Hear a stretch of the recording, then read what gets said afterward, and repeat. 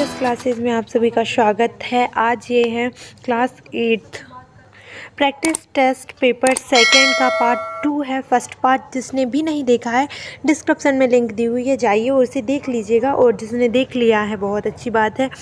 तो सभी फटाफट से चैनल को सब्सक्राइब कर दीजिएगा। लेट्स स्टार्ट उसमें हम लोगों ने सारी ग्रामर बेसिक डू एस डायरेक्टेड कर लिया था। इसमें हम देखेंगे क्वेश्चन आंसर फ़र्स्ट लिखा है वॉट इज़ काना किसली ये है सेकेंड चैप्टर का है। अगर आप लोगों ने रीड नहीं किया है तो कर लीजिएगा। ये सारे उसी के हैं, है ना? अभी देखते हैं इसका आंसर अपन लोग। देखिए, ये लिखा हुआ है। What is Kanha Kisli Kanha Kisli is a very beautiful national park वो बहुत ही सुंदर राष्ट्रीय पार्क है। ठीक है? सेकंड ये है। When did Kanha national park come into existence ये नेक्स्ट ये है, ये। Kanha Kisli national park come into existence nineteen nine sorry 1955 में है। मतलब यहाँ पर अगर नहीं दिख रहा है तो मैं यहाँ पर लिख देती हूँ। सिर्फ़ इसका आंसर सिर्फ़ इतना ही है कि उन्नीस सौ पंचानवे में कान्हा किसली जो है अस्तित्व में आया था। तो आपको क्या करना है? यहाँ से लेकर यहाँ तक लिखना है और इन लगाकर आप 19 फिफ्टी फाइव लिख दीजिएगा आंसर। ख़त्म हो जाएगा, ठीक है? थर्ड देखिए आप लोग when could the wood cutter not earn जो वुड कटर था, वो कब पैसे नहीं कमाता था? तो चलिए हम उसको देखते हैं। ये है the wood cutter could not earn any money during the rainy season उसका जो रेनी सीज़न था, उसमें उसको पैसे नहीं कमाता था, क्योंकि जो जलाऊ लकड़ी थी, वो गीली हो जाती थी। इसीलिए, ठीक है? Next next next who were trapped in the well कौन कौन फंसा था उस उसमें, किसमें? जो कुआ था उसमें। A a tiger a snake and a jeweller trapped in the well ठीक है? ये था वुड कटर वाली द अनग्रेटफुल ज्वेलर्स का लेसन थ्री का क्वेश्चन है। ये मैंने आपको सॉरी मैंने आपको सब कुछ बता दिया है कौन किस किस चैप्टर के हैं। मैं जल्दी जल्दी इसलिए कर रही हूँ क्योंकि वीडियो बहुत लॉन्ग हो जाती है, फिर मुझे अपलोड करने में प्रॉब्लम आती है। तो फटाफट देखिएगा, ठीक है? What did the villagers decide when the axe man refuse to return? जो एक्स मैन था, जो लकड़हारा था, उसने जब मना कर दिया था कि पेड़ काटने से मतलब कि पेड़ नहीं काटने से मना कर दिया था तो पूरे जो जंगल वो सॉरी पूरे जो ब्लेज के मैन और वुमेन थे उन्होंने क्या किया था तो the entire village and men women old young began to sorry ये कर दिया began to march in a procession they cried drums and drums and banners with message उन्होंने एक बैनर्स बनाया था जिसमें मैसेज लिखा था chop me not the tree kill us first before you cut a single tree मतलब कि chop me not the tree मुझे काटो, पेड़ों को नहीं किल अस फ़र्स्ट हमें पहले मारिए। एक सिंगल या फिर एक वृक्ष को काटने से पहले हमें काटिए। सिर्फ़ इतना लिखा हुआ था उसमें, ठीक है? आगे देखेंगे हम। देखिए, मैं बता देती हूँ, एक और, एक मतलब कि एक और यहाँ पर क्वेश्चन था, जो क्वेश्चन मैं सॉरी वीडियो में नहीं ले पाई हूँ, उसका जो पिक है वो नहीं क्लिक हो पाया है। तो यहाँ पर आप देखिएगा, उसमें ये पूछा हुआ है कि जब सभी जो, ये पार्ट जो है वो ट्री सवर सीवियर का ये क्वेश्चन है, आप लोग देख लीजिएगा सिक्स क्वेश्चन है। प्रैक्टिस टेस्ट पेपर का सिक्स क्वेश्चन है। इस जो एक्सरसाइज कर रहे हैं इसका।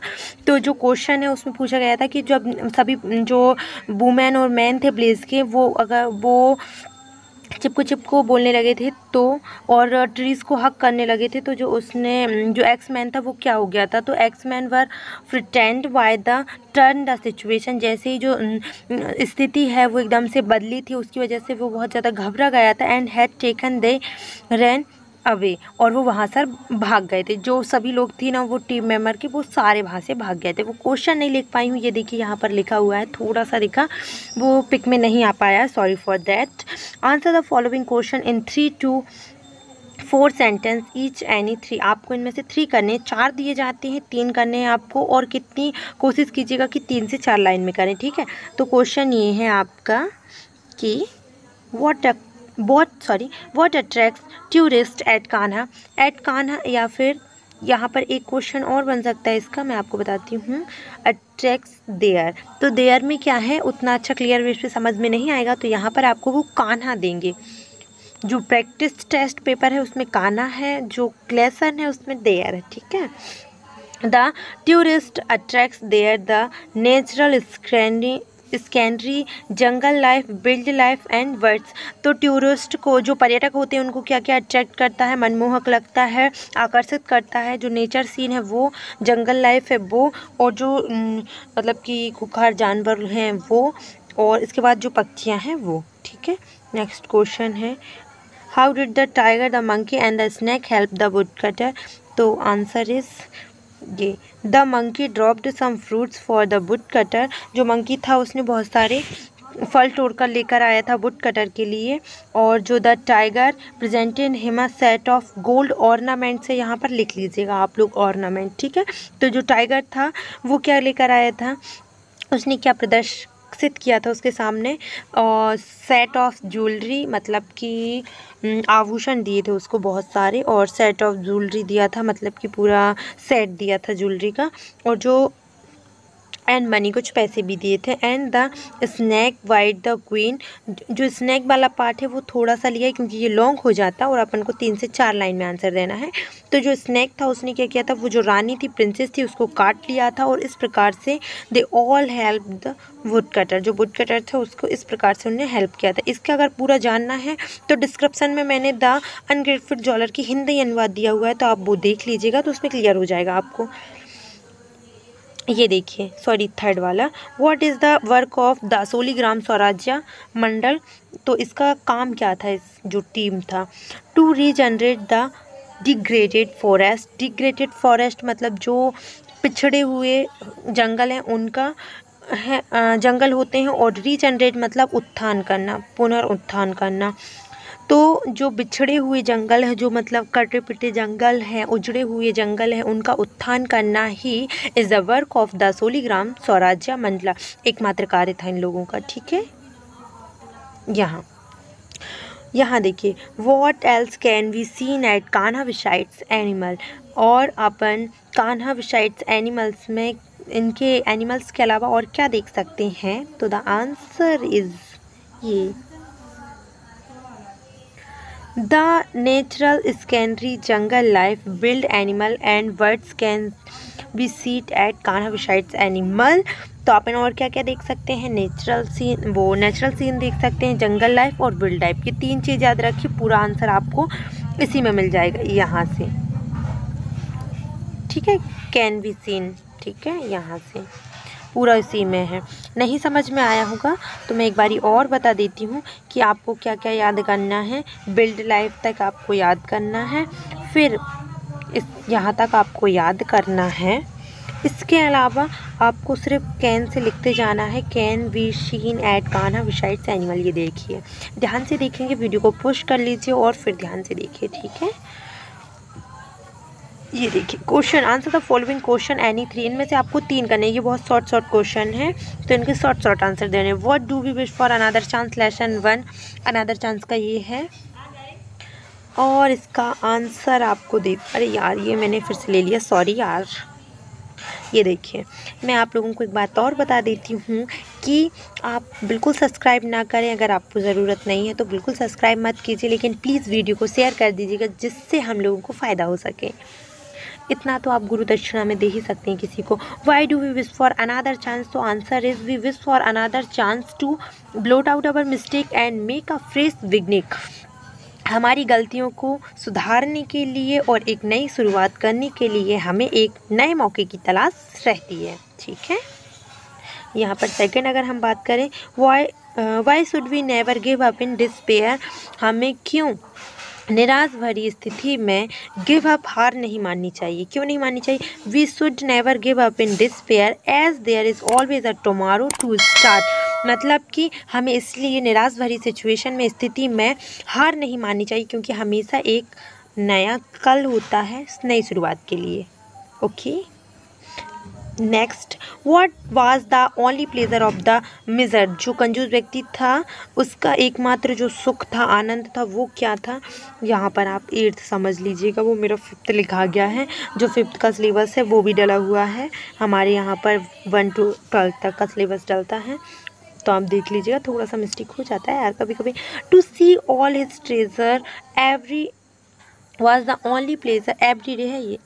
Every day was the only pleasure of the miser मतलब कि उसके ट्रीजर ट्रीजर मतलब यहाँ पर खजाना है। खजाने को देखना एकमात्र जो मिज़र था, उसका एकमात्र परम सुख था। What did the neighbours ask the miser जो नाइवर्स थे मतलब जो पड़ोसी थे, उन्होंने जो मिज़र था, उसे क्या पूछा था? तो ये पूछा था उस कंजूस व्यक्ति से। The neighbours ask the miser that what was the matter आखिर मामला क्या है? क्यों चिल्ला रहे हो उतना ठीक है, अब आपका अगर आगे का क्वेश्चन देंगे कि write four line of a poem you have read आपको किसी भी एक पोएम की चार लाइन लिखी जो भी आपने पढ़ी हुई है। तो मैंने यहाँ पर आपके लिए ये वाली पोएम मतलब ये क्या है? लेसन वन अनादर चांस की पोएम है। अगर आप लोगों ने पढ़ी हो, आप द मिज़र वाली पोएम भी ले सकते हैं, वो भी बहुत अच्छी है। मुझे ये बहुत अच्छी लगती है इसलिए। How often we wish for another chance to make a fresh विगने a chance to blot out our mistake and chance failure into winning ये है आपका आंसर ठीक है? और ये किसका आंसर है? फिफ्थ का। किसका है भाई? फिफ्थ का है, ठीक है? चलिए आगे देखते हैं। ये है read the following passage carefully आपको क्या करना है? पैसेज सॉल्व करना है। तो पैसेज सॉल्व करने की सबसे अच्छी ट्रिक होती है, सबसे पहले क्वेश्चन पढ़ लो, क्योंकि कौन सा आप पूरा पढ़ के पूरा हिंदी समझ सकते हैं? जो बच्चे समझ सकते हैं, वो पढ़ लीजिए। और पढ़ लेंगे तो भी टाइम वेस्ट होगा। तो the right way to solve the passage कि आप लोग सबसे पहले क्वेश्चन पढ़िए। वेयर डिड द हैन ले द एग जो एग था, वो जो मुर्गी थी, उसने अंडा कहाँ दिया था? तो आंसर इज़ यहाँ पर आप देखेंगे। यहाँ पर अगर आप यहाँ करेंगे तो the hen laid and egg the egg rolled down through a hole in the roof into a into a room down below यहाँ तक आ सकेगा। आप यहाँ से लिखिएगा फ़र्स्ट ये रहेगा, ठीक है? सेकंड है, आप देखिए who found the egg in the egg आखिरी में एग किसने प्राप्त किया था? तो आंसर है, देखिए, अगर आप ध्यान से देखेंगे तो वो जो लड़की थी, वो कहाँ पर जाती है? यहाँ पर जाती है और वो उससे पूछती है किससे? जो हैनी होता है जो है नहीं होता है, वो बोलता है he said I have found your egg तो यही है इसका आंसर आप क्या करेंगे? हु की जगह पे हैनी लिख दीजिएगा। It is a correct answer who did the hen ask about her egg to जो मुर्गी थी, उसने अपने अंडे के बारे में किसने, किससे पूछा? तो उसने बहुत सारे लोगों से पूछा, लेकिन फ़र्स्ट में उसने जिससे पूछा, अपन उसके बारे में बताएँगे। तो यहाँ से वो पूछती है, हैनी जो नीचे उतर जाती है पहले तो नीचे जाती है रूम के, फिर वो बोलती है, किसी बोलती है, यहाँ से बोलेंगे have you seen my eggs asked Henny, जो हैनी थी, वो बिल्ली का नाम था। यस आई हैव सेड बिल्ली द गॉड जो गॉड थी गॉड मतलब क्या होता है, बकरी। वो बोलती है हाँ मैंने देखा है। तो आप यहाँ पर लिख सकते हैं कि सॉरी यहाँ पर नहीं, ये, यहाँ पर लिख सकते हैं कि the hen asked about her egg to the बिल्ली, जो उसका नाम था बिल्ली द गॉड। सिर्फ़ इतना लिख सकते हैं, ठीक है?